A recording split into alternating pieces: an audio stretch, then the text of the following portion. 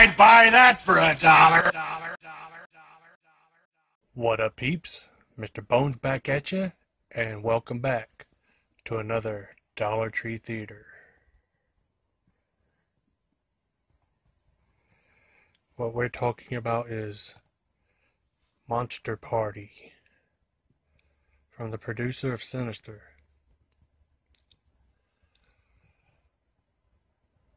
Made in 2018, directed and written by Chris Von Hoffmann, starring Sam Strake as Casper, Virginia Gardner as Iris, Brandon Michael Hall as Dodge, Robin Tunney as Roxanne Dawson. It was cool to see her back in something newer than The Craft. Erin Moriarty as Alexis Dawson, Julian McMahon as Patrick Dawson, and Kian Lawley as Elliot Dawson.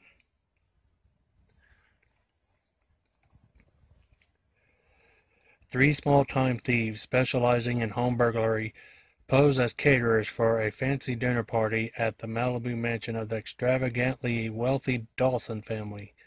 But their plan for the perfect heist goes horribly wrong when they discover that the Dawsons and their guests are actually a support group of recovering serial killers.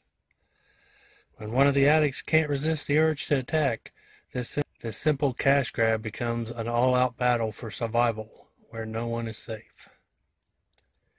You know, the back here description tells the surprise plot twist. A support group of recovering serial killers. Definitely an interesting idea.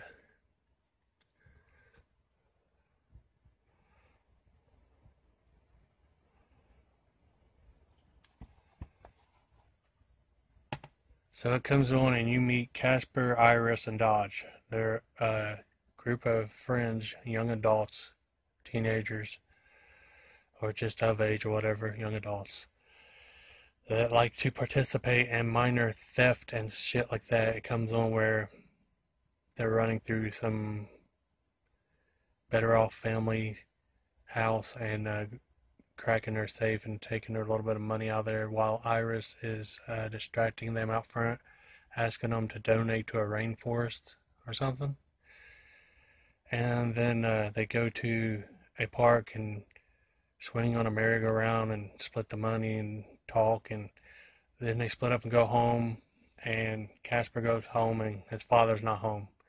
And somehow he knows where he's at, the local strip club and finds his way to the office where the owner of the strip club is beating on and torturing his father because he owes him a bunch of money through gambling debt.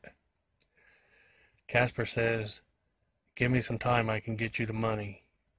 But if you kill him, you won't get your money. And then he goes back and talks to his friends and tells them the shit he's in, or the shit his father's in. He says, I know he's an asshole, but he's my father.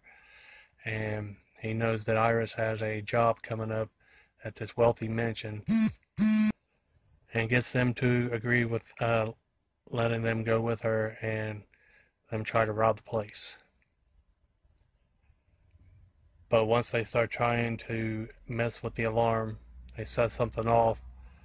The uh, windows and doors all slam shut, and the alarm's going off, and it turns into like the purge inside that mansion shit hits the fan and it's a fight for their life and that's as much as I'll say. This movie's a fucking blast. If you see this at the tree, I highly recommend you get it and check it out.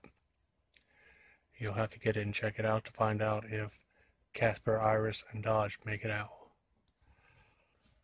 And that is what I watched. Peace.